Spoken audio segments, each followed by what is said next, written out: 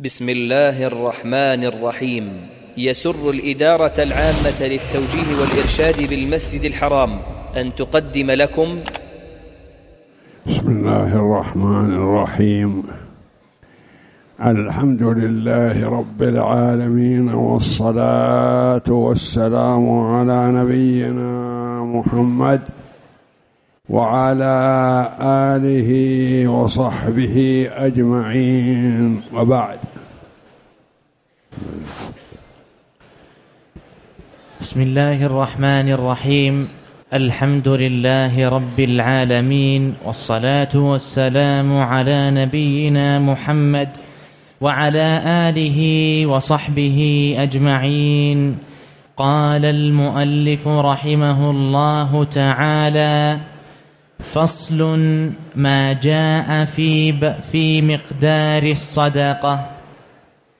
قول المؤلف رحمه الله تعالى الإمام ابن القيم في زاد المعاد في هدي خير العباد.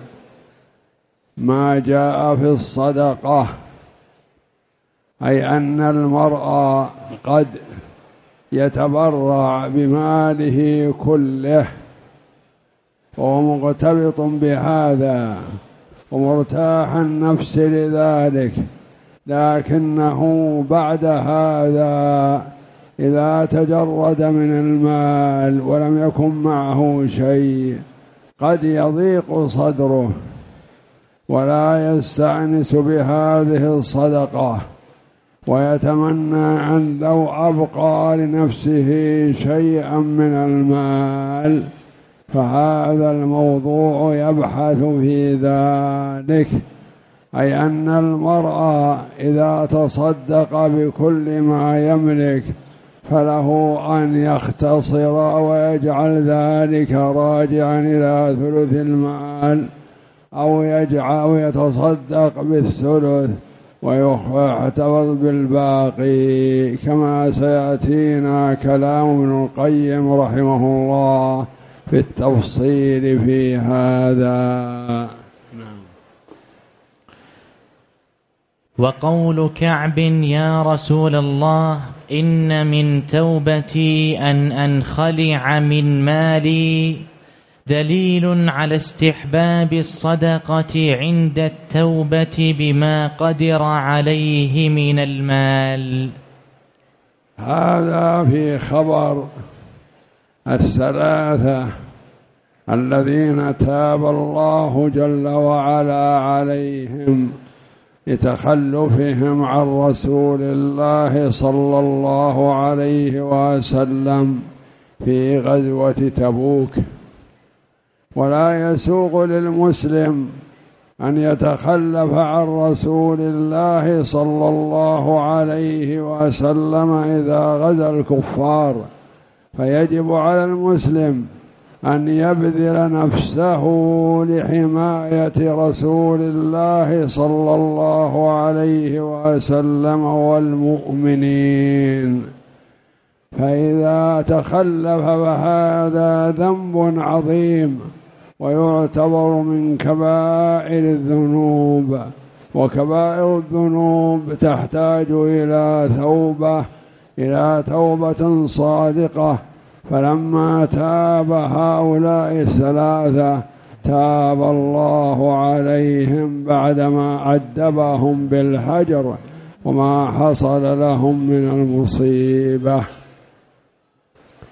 فعند ذلك قال كعب يا رسول الله إن من علامات صدقي في التوبة يعني أني صادق في توبتي أنني أنخلع من مالي كله صدقة لله.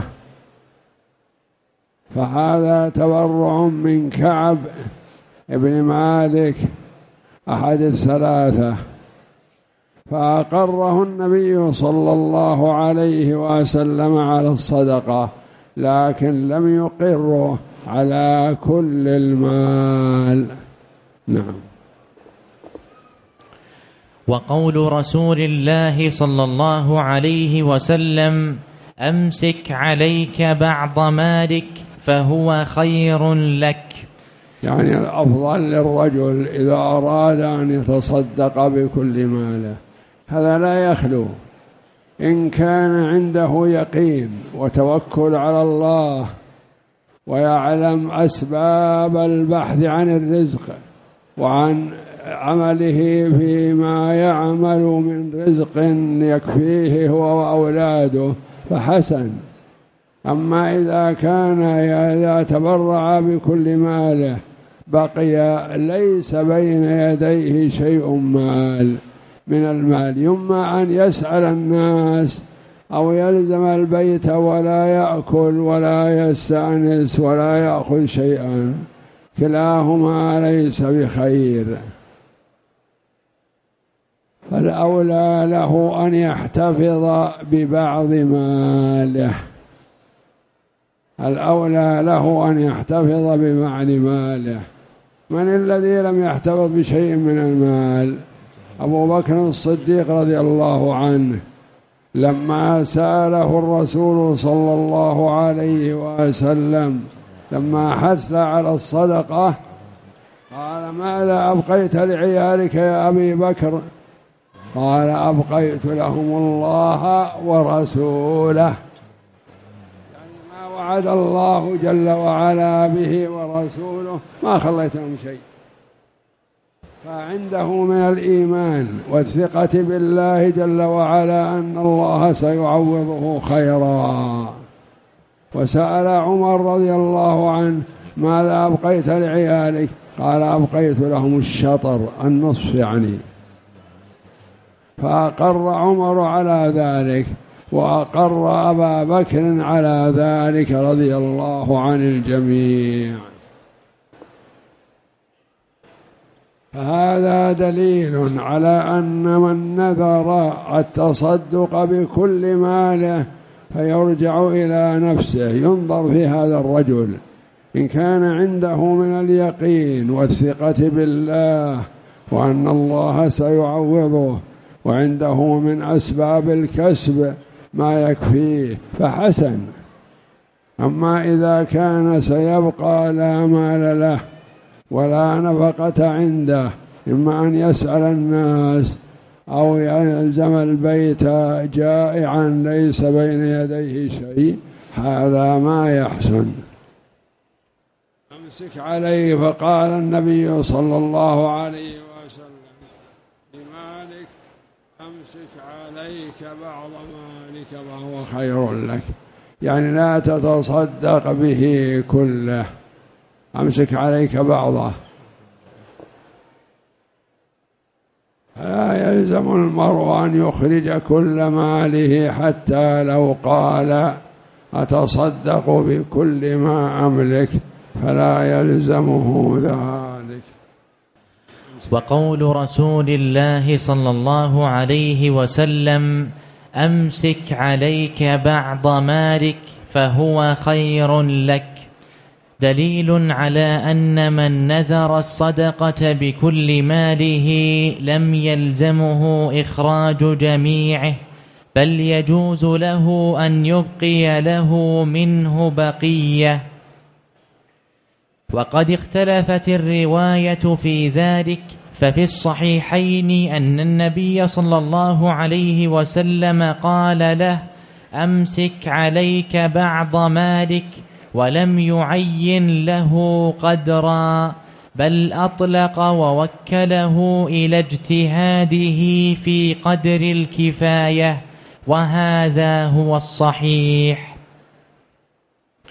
فإنما نقص عن كفايته وكفاية أهله لا يجوز له التصدق به فنذره لا يكون طاعة فلا يجب الوفاء به.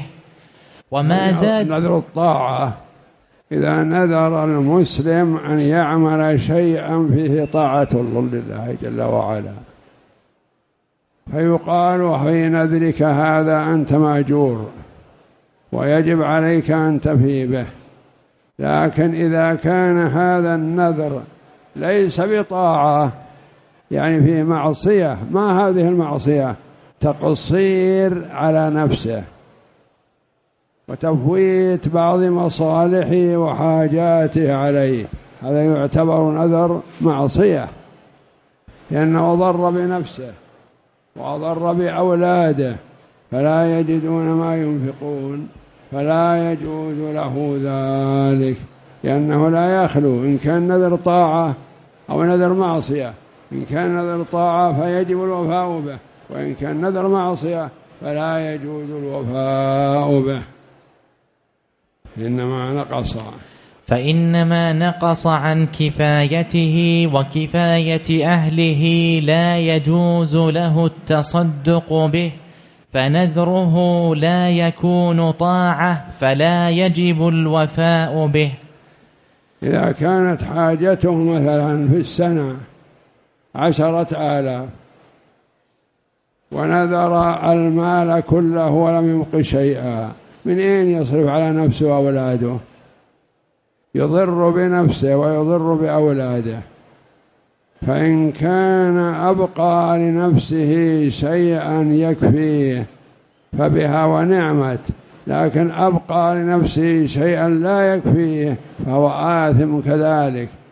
إذا أبقى لنفسه خمسة آلاف ونفقته هو في السنة عشرة آلاف فيجب عليه أن يوفي حاجته وحاجة ولده ولا يتصدق بها. هذا واضح بأن المرأة إذا كان عنده مال قليل ونفقته قليلة وجاءه مسائل فلا يجوز له أن يعطيه من نفقته ونفقة ولده وإنما يعطيه ما زاد عنها.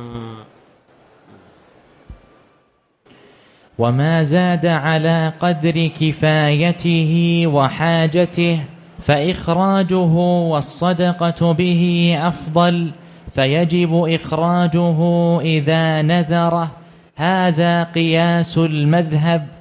ومقتضى قواعد الشريعة ولهذا تقدم كفاية الرجل وكفاية أهله على أداء الواجبات المالية سواء أكانت حقا لله كالكفارات والحج أو حقا للآدميين كأداء الديون فإنا نترك للمفلس ما لا بد منه من مسكن وخادم وكسوة وآلة حرفة أو ما يتجر به لمؤنته إن فقدت الحرفة ويكون حق الغرماء فيما بقي. يقول المؤلف رحمه الله تعالى إنه لا يجوز للإنسان أن يقصر فيما يجب عليه سواء كان لله كالحج أو النذر أو للآدميين كالديون. مثلا واحد يريد الحج ولا يملك إلا عشرة آلاف فإذا حج بها لم يبقى نفقة لولده. هل يجوز له أن يحج بها؟ لا. لا يجوز له بل يجب عليه أن يبدأ بنفقة ولده ونفقة آل بيته ويعطيهم ما يحتاجون. فإن بقي شيء حج به وإلا فإنه معذور حينئذ. سواء كان الدين لله كالحج والنذر وغيره أو الآدميين كالديون التي في الذمة. هذا عنده عشرة آلاف مثلا. ويريد الحج. هل يحج بها أو يسدد بها دينه الذي قدره عشرة آلاف؟ بل يسدد بها دينه ولا يلزمه الحج ويكون معسرا. وقد نص الإمام أحمد على أن من نذر الصدقة, الصدقة بماله كله أجزأه ثلثه. أجزأه ثلث المال لأنها تكفي عنه تبري ذمته. واحتج له أصحابه بما روي في قصة كعب هذه أنه قال يا رسول الله إن من توبتي إلى الله ورسوله أن أخرج من مالي كله إلى الله ورسوله صدقة. قال لا. قلت فنصفه. قال لا. قلت فثلثه. قال نعم. قلت فإني أمسك سهمي الذي بخيبر. ما عداه يريد أن يتصدق به. يتصدق بماله كله. قال الرسول صلى الله عليه وسلم لا يجوز لك ذلك لأنك تبقى فقير ما عندك شيء. قال أمسك نصفه قال لا النصف ما يكفي. قال أتصدق بثلثه؟ قال نعم الثلث والثلث كثير كما جاء في حديث آخر الثلث والثلث كثير في الوصية في وصية سعد رضي الله عنه. لما قال سعد إنه لا يرثني إلا ابنة لي فهل أتصدق بمالي قال لا. ومريض سعد رضي الله عنه. قال فالنصف؟ قال لا. قال فالثلث؟ قال الثلث والثلث كثير. إنك إن تذر ورثتك أغنياء. عندهم ما يكفيهم خير من انتظرهم عالة يتكففون الناس. وأخبره الرسول صلى الله عليه وسلم أنه لن يموت بهذا المرض وهو في ذلك قال ما يرثني إلا ابنة لي. فذلك كثر أولاده رضي الله عنه. وهذه من معجزات النبي صلى الله عليه وسلم أنه أخبر سعد بن أبي وقاص أنه لن يموت بهذا المرض. وأنه سيولد له أولاد.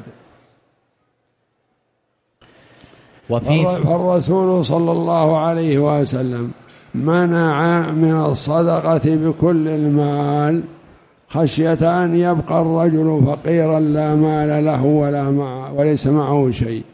فقال له الرسول صلى الله عليه وسلم أبقي بعض مالك فهو خير لك. قال أبقي الثلث. قال نعم.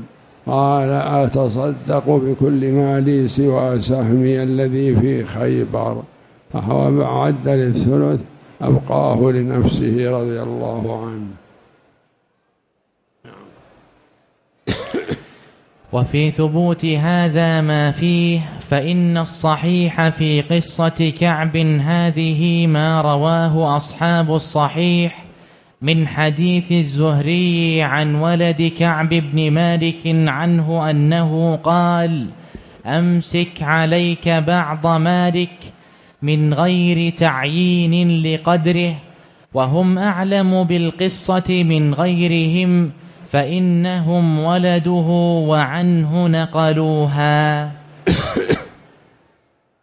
يقول كونه اتفق مع الرسول صلى الله عليه وسلم على أن يبقي مقدار الثلث. هذا ليس بثابت لأن مالك رضي الله عنه ما قال الثلث وإنما قال له الرسول أبقي عليك بعض مالك وهو خير لك. فإن قيل فما تقولون فيما رواه الإمام أحمد في مسنده أن أبا لبابة بن عبد المنذر لما تاب الله عليه قال يا رسول الله إن من توبتي أن أهجر دار قومي وأساكنك وأن أنخلع من مالي صدقة لله عز وجل ولرسوله. فقال رسول الله صلى الله عليه وسلم يجزئ عنك الثلث. هذا الذي جاء في الثلث وليس في قصة مالك رضي الله عنه. فهذا الرجل الذي قال من توبتي أن أنخلع من مالي وأن أتصدق بمالي وألا أدخل عليهم في بلادهم في مكانهم. فما لي الذي فيهم عندهم أتركه. لأن محافظتي على صداقة اليهود هي التي ضرتني. فهو حافظ على صداقة اليهود وكان يجتمع معهم في مكانهم لأنه صاحب ملك وعقار عندهم. فداهن فيما قاله لهم لما لما أرسله الرسول صلى الله عليه وسلم لينذرهم. قالوا له هل ترى أن ننزل على حكم رسول الله صلى الله عليه وسلم؟ فقال رضي الله عنه نعم أرى أن تنزلوا. وأشار إلى حلقه. يعني إنه الذبح يذبحكم الرسول. لكن أرى أن لا تنزلوا هذا كلام الوصية أنه ما اقتنع بنزولهم على حكم رسول الله صلى الله عليه وسلم. ومن من المسلمين لا يقنع بحكم رسول الله صلى الله عليه وسلم فهذا خان الله في رسالته خان الله في حقه. قال لا تنزلوا على حكم رسول الله صلى الله عليه وسلم. فإنه الذبح. يعني يبي يذبحكم الرسول كلكم. فعرف أنه خان فترك الذهاب إلى النبي صلى الله عليه وسلم وتبليغه. وتاب إلى الله وأعلن صدقه وتوبته فتاب الله عليه فيما بعد. وإلا أول كلام خيانة لله ولرسوله. قيل هذا هو الذي احتج به أحمد لا, بحديث كعب فإنه قال في رواية ابنه عبد الله إذا نذر أن يتصدق بماله كله أو بعضه وعليه دين أكثر مما يملكه فالذي أذهب إليه أنه يجزئه من ذلك الثلث. لأن النبي صلى الله عليه وسلم أمر أبا لبابة بالثلث وأحمد أعلم بالحديث أن يحتج بحديث كعب هذا الذي فيه ذكر الثلث. إذ المحفوظ في هذا الحديث أمسك عليك بعض مالك وكأن أحمد رأى تقييد إطلاق حديث كعب هذا بحديث أبي لبابة. قرن بينهما الإمام أحمد رحمه الله. فحديث أبي لبابة أمسك عليك ثلثه وحديث مالك أمسك عليك بعض مالك فقارن بينهما فأخذ بهما معا وقيد المطلق بالمقيد.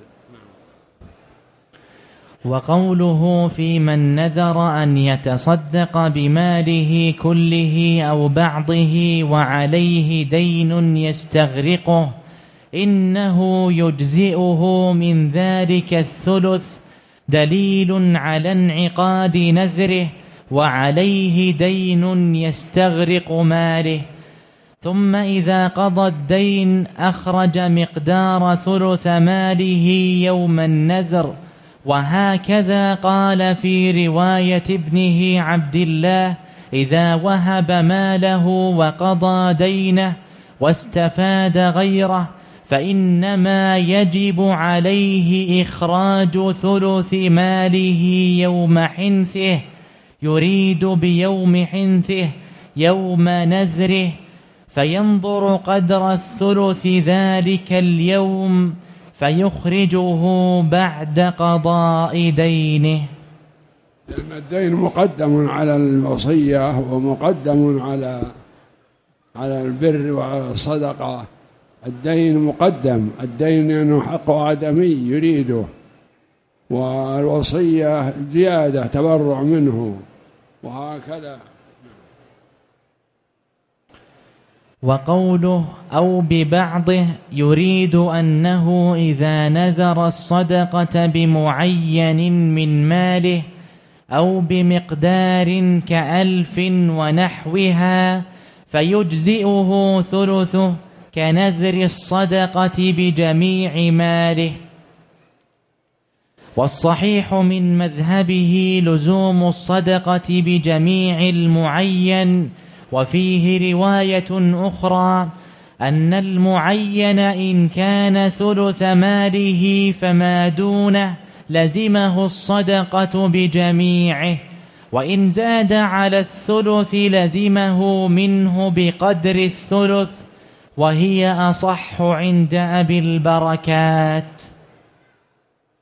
إذا نذر أن يتصدق بألف ريال. فإن كان الألف هذا مقدار الثلث أو أقل من الثلث فيلزمه ذلك. وإن كان الألف كل المال أو أكثر من الثلث فلا يلزمه سوى الصدقة بالثلث لأنها هي اللازمة. وبعد فإن الحديث ليس فيه دليل على أن كعبا وأبا لبابة نذرا نذرا منجزا. وإن وإنما قال إن من توبتنا أن ننخلع من أموالنا وهذا ليس بصريح في النذر وإنما في ليس بصريح في النذر. ليس نذرا صريح هذا وعد. وعد كريم. ما يلزم إلا عند من يقول إن النذر يلزم بالوعد والصحيح أن النذر لا يلزم بالوعد إلا إذا نذر أن يتصدق بذلك بقوله إن لله علي أن أتصدق بكذا. هذا نذر واجب لكن لا قال من توبتي أن أعطي من مالي كذا وكذا توبتي أن أعطي مما إن أعطى فحسن وإن لم يعطي فليس بلازم عليه. وإنما قال إن من توبتنا أن ننخلع من أموالنا وهذا ليس بصريح في النذر وإنما فيه العزم على الصدقة بأموالهما شكرا لله على قبول توبتهما. فأخبر النبي صلى الله عليه وسلم أن بعض المال يجزئ من ذلك ولا يحتاجان إلى إخراجه كله. وهذا كما قال لسعد وقد استأذنه أن يوصي بماله كله فأذن له في قدر الثلث. سعد بن أبي وقاص رضي الله عنه لما جاءه النبي صلى الله عليه وسلم يزوره في حجة الوداع وهو في مكة مريض قد قضى قد أوشك أن يموت. فقال له رسول الله صلى الله عليه وسلم لما عرض عليه سعد الصدقة بماله قال أنا لا يرثني إلا ابنة لي وعندي مال كثير فترى أنا أتصدق به قال النبي صلى الله عليه وسلم لا. قال فالشطر فالنصف؟ قال لا. قال الثلث؟ قال الثلث هو الثلث كثير. وبين له النبي صلى الله عليه وسلم أنه لن يموت بهذا المرض لن يموت بهذا المرض وأنه سيخلف ذرية كثير. وفعلا صار لسعد ذرية كثير وأولاد كثير رضي الله عنه. بينما كان في أول الأمر ليس عنده إلا بنت واحدة فوجد بنات وأولاد كثر وترك الرسول صلى الله عليه وسلم والوصية ما تلزم بالقول فقال له النبي صلى الله عليه وسلم لا تصدق بمالك كله. قال النصف. قال لا كثير. قال الثلث. قال الثلث والثلث كثير. ولهذا يرى كثير من العلماء أنه لا يحسن الوصية بالثلث. قال لأن الثلث كثير يصيب الخمس يصيب الربع يصيب الثمن يوصي بمقدار معين هذا أحسن من كونه يوصي بالثلث. فإن قيل هذا يدفعه أمران أحدهما قوله يجزئك والإجزاء إنما يستعمل في الواجب. والثاني أن منعه من الصدقة بما زاد على الثلث دليل على أنه ليس بقربة إذ الشارع لا يمنع من القرب ونذر ما ليس بقربة لا يلزم الوفاء به. إذا تصدق بكل ماله. هذا ليس بقربة. لما؟ لأنه لا يجوز للمسلم أن يقصر على نفسه ولا على ولده ولا من يلزمه نفقته. لأنه لو قصر عليهم لآثم. والنذر طاعة طاعة لله قربة لله جل وعلا. فإذا كان المرء يثاب على هذا النذر فحسن. وإذا كان الناس المرء يأثم بهذا النذر فلا يجوز له. قيل أما قوله يجزئك فهو بمعنى يكفيك فهو من الرباعي وليس من جزى عنه إذا قضى عنه يقال أجزأني إذا كفاني. وجزى عني إذا قضى عني وهذا هو الذي يستعمل في الواجب. ومنه قوله صلى الله عليه وسلم لأبي بردة في الأضحية تجزئ عنك ولن تجزئ عن أحد بعدك. والكفاية تستعمل في الواجب والمستحب. يجزي عنك لأن أبا بردة رضي الله عنه ذبح قبل الصلاة أضحيته أبا بردة الأسلمي رضي الله عنه. بادر إلى أضحيته وذبحها قبل أن يذهب إلى صلاة العيد. صلاة الإضحى. صلاة عيد الإضحى. وأكل منها أو قدم منها بعض أهله. فلما جاء الرسول صلى الله عليه وسلم قال له إني ذبحت أضحيتي. قال لا هذا ما يجزي إلا بعد الصلاة. لا يجوز للمسلم أن يذبح أضحيته إلا بعد صلاة الإضحى صلاة عيد الإضحى. قال يا رسول الله عندي كذا خروف أو تيس كبير وزين وحسن إلا أنه ما بلغ ما بلغ ستة أشهر ولا بلغ سنة. فقال يجزي عنك ولا يجزي عن أحد بعدك. إنك أنت غلطت في ذبح الهدية الأضحية تعجلت فيها. فيجزي عنك هذا وإن لم يبلغ ولا يجزي عن أحد بعدك. يقول أن هذا الإجزاء بمعنى أنه يكفي عنك كفاية للواجب عليك. وأما منعه من الصدقة بما زاد على الثلث فهو إشارة منه عليه بالأرفق به وما يحصل له به منفعة دينه ودنياه فإنه لو مكنه من إخراج ماله كله لم يصبر على الفقر والعدم كما فعل بالذي جاءه بالصرة ليتصدق بها فضربه بها ولم يقبلها منه خوفا خوفا عليه من الفقر وعدم الصبر. وقد يقال وهو أرجح إن شاء الله تعالى إن النبي صلى الله عليه وسلم عامل كل واحد ممن أراد الصدقة بماله بما يعلم من حاله فمك الناس منازلهم أعطى كل واحد حاله. فأبو بكر لما قال له إني أبقيت لهم الله ورسوله ما قال لا مخطي. لما تبقي لهم هذا؟ لما لم تبقي لهم مال. أخذ المال منه وقبله منه. لأن أبا بكر رضي الله عنه عنده من الإيمان والقوة واليقين والثقة بالله جل وعلا ما يغنيه ويكفيه. ويخشى من بعض هؤلاء أنه إذا تصدق بكل ماله ونظر إلى نفسه لما عنده شيء ولا عنده نفقة ماذا يصنع؟ يتيأس يصيبه اليأس يصيبه الضجر يصيبه الخوف. فقال فأنزل الناس منازلهم عليه الصلاة والسلام. فأنت مثلا إذا قال لك رجل أنا أريد الصدقة بكل مالي. فتقول له يا أخي لو أبقيت لك شيء.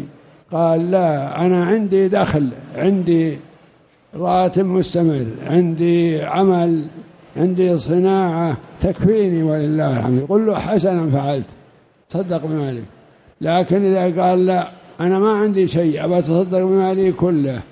وأتعرض للناس إخواني ما يقصرون عنه. يقول له لما يجوز لك أن تتعرض لإخوانك وتسألهم وأنت تصدقت بمالك أبقي لك بعض مالك فهو خير لك. وقد يقال وهو أرجح إن شاء الله تعالى إن النبي صلى الله عليه وسلم عامل كل واحد من ممن أراد الصدقة ممن أراد الصدقة بماله بما يعلم من حاله فمكن أبا بكر الصديق من إخراج ماله كله وقال ما أبقيت لأهلك؟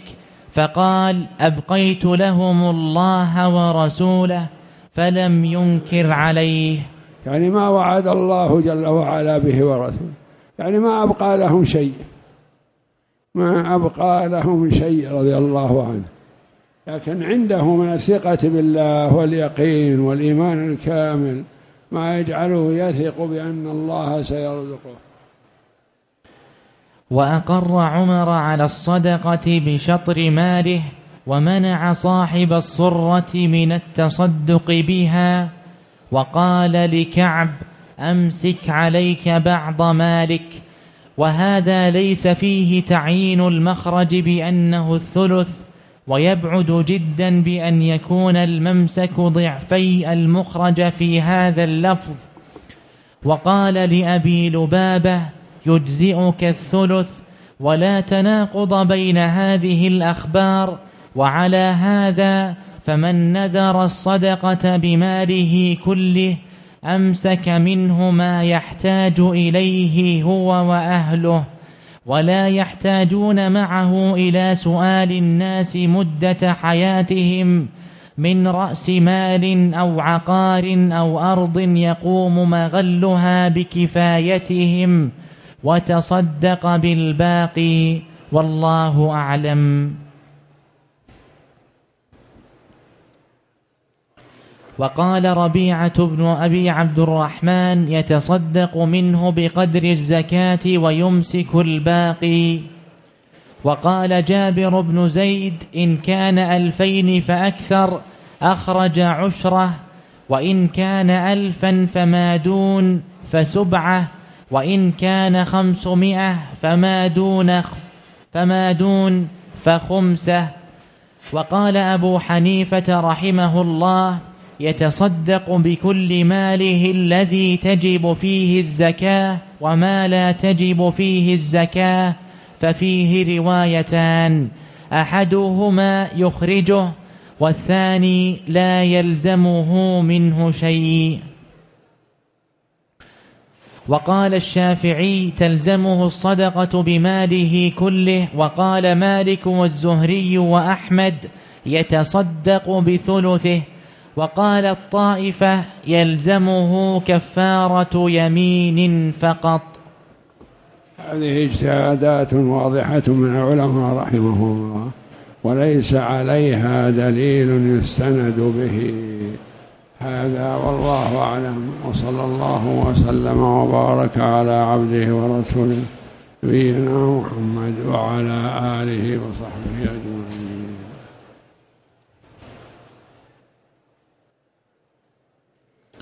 يقول السائل هل يجوز أن آخذ من أموال الزكاة التي تعطى لي باعتقادهم أني مستحق لها وأقوم بإعطائها لمن أرى بأنه مستحق لها من أقاربي؟ لا يا أخي لا يجوز لك ذلك لأنك كأنك جعلت نفسك وكيلا عن أهل الزكاة. فهم ظنوا أنك فقير فأعطوك من المال فلا يجوز لك أن تعطيه للآخرين وإنما الواجب عليك أن تقول أنا لست من أهل الزكاة يا أخي. فإن كان هدية منك لي فأنا أهل للهدية أما إن كان صدقة وزكاة فأنا لست من أهل الصدقة. هكذا يكون المسلم صريح واضح.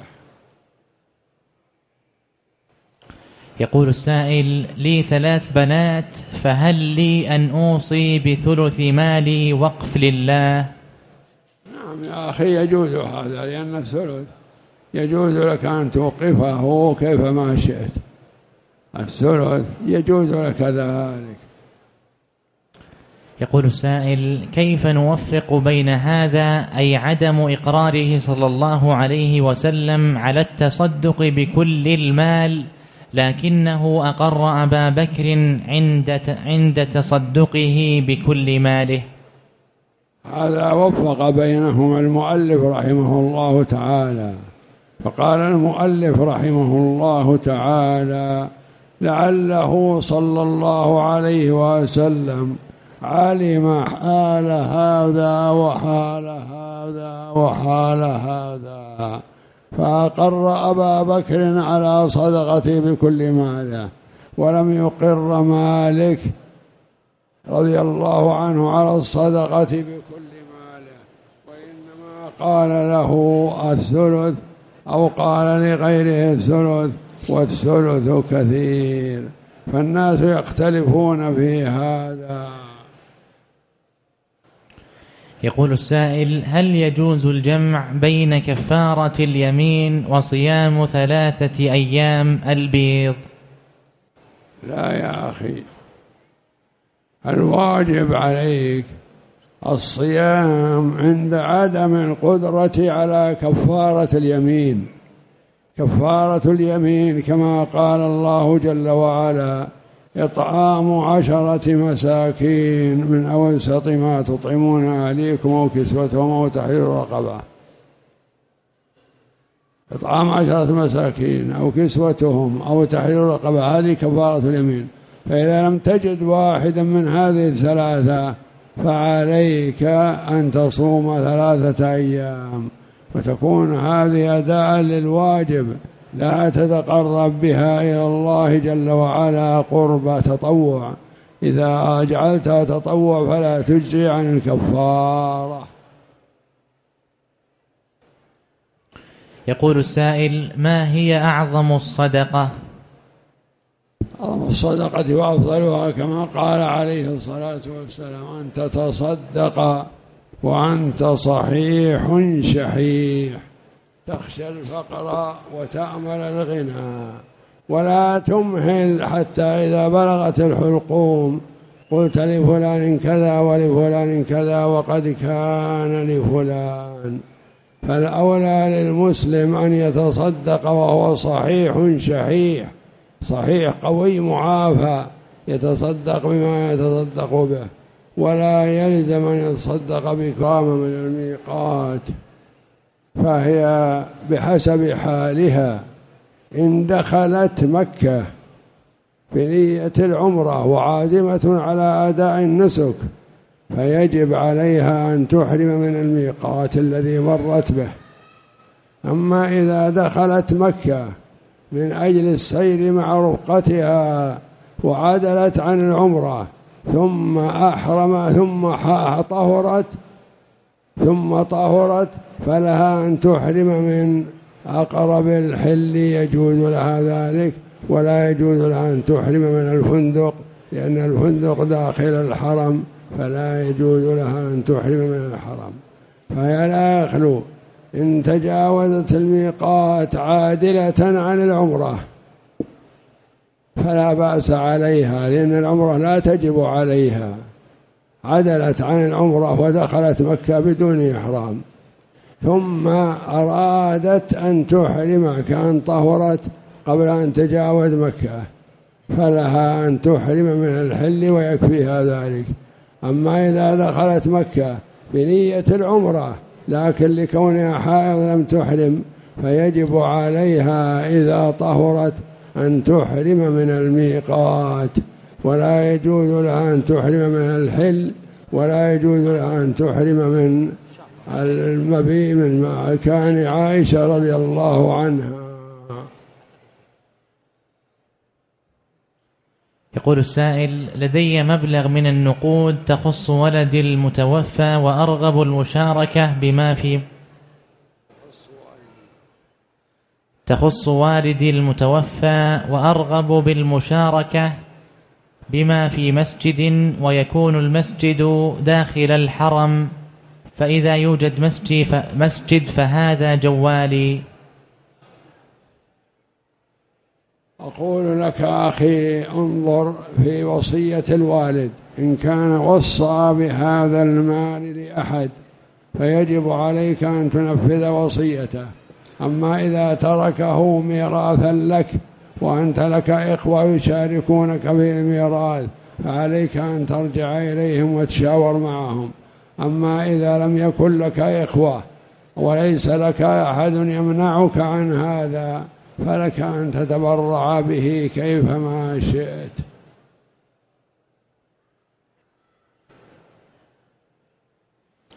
يقول السائل هل يجوز أن يشرب الطفل من لبن المرأة التي ربته وهو صغير فيحرم عليها وهو فاقد لأهله؟ إذا كان هذا الرضاع وهذا الشرب من اللبن في الحولين فهو محرم. يحرم اللبن يحرم صاحبة اللبن على هذا الطفل وتكون أمة. أما إذا كان بعد الحولين فلا يجوز ولا يحرم على الصحيح. يقول السائل أنا متزوج ولي ثلاث بنات هل يجوز لي أن أكتب في وصيتي الثلث لبناتي غير ميراثهم الشرعي؟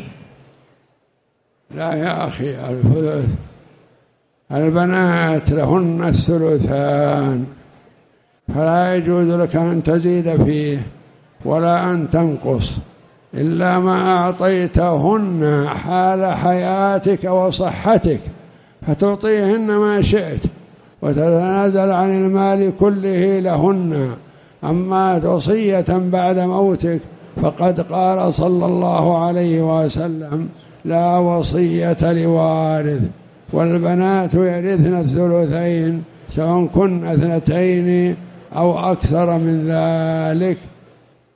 لكن الثلثان ولا يجوز لك أن تزيد في حقهن ولا أن تنقص منه شيئا.